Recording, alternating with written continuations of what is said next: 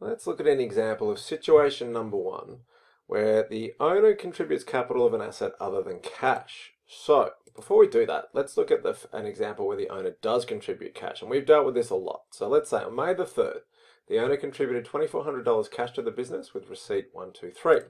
Well, we need to put that in the general journal, and we've done this quite a bit. What would happen is we've got more cash, cash is an asset going up, so that's a debit, and we're giving the business capital. Capital is owner's equity, so that's going up, and that's a credit.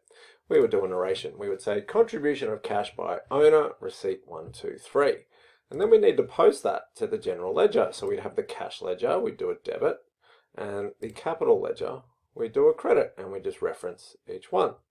So we've done that quite a lot. What we've got to do now is change one thing. Instead of the owner contributing the cash, well, why don't we deal with this situation? Example number two, contribution of an asset other than cash. The owner contributed their personal laptop to the business, which they purchased six months ago for $3,300, including GST, Memo 1. However, the current fair value is $2,400. So which amount do we use? Well, in our previous video, we said when the owner contributes an asset, we don't use what the owner paid. That's not relevant to today for the business as an entity. We should use this fair value, which is the estimate of the current market value or basically the economic resources left in the asset. So we're going to use $2,400 and then it's actually the same as what we just did. We're going to debit an asset instead of cash, we're going to debit laptop and we're going to credit capital. We'll change our narration slightly and say contribution of laptop at fair value by owner, memo 1 and then we'll do our posting. So instead of a debit to cash, we'll do a debit to uh, laptop. And instead of, a, uh, sorry, and actually we'll keep the capital credit just like we did. And we'll just change the reference here. So in the capital ledger, it will say laptop instead of cash. Simple. So if we were just to sort of compare that, there's the two transactions. Well, we had a debit to an asset, in this case cash, in this case laptop. That's all we're going to do is change the name of the asset. This entry to the capital account was the same, and the narration was the same, we just changed the obviously the document number. It was a receipt for when we contribute money, and it was a memo for when we contribute something that's not money.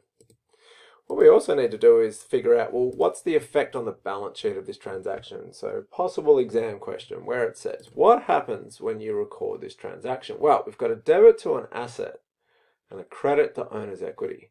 So what that means is assets increased by this case, $2,400. No effect on liabilities. There's nothing there about liabilities. And this credit to capital um, increased owner's equity. And our words balance assets equals liabilities plus owner's equity. But then we get that dreaded question, what if it was not recorded? And we just say, well, assets should have gone up, but they didn't because we didn't record it. So this would be understated by $2,400.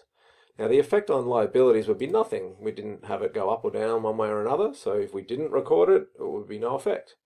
What about with the owner's equity? It should increase by $2,400. So if it doesn't, it's too low.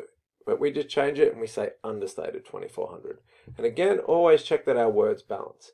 Asset, understated 2,400 equals liabilities plus owner's equity. So we've got no effect, plus understated $2,400, and our words balance.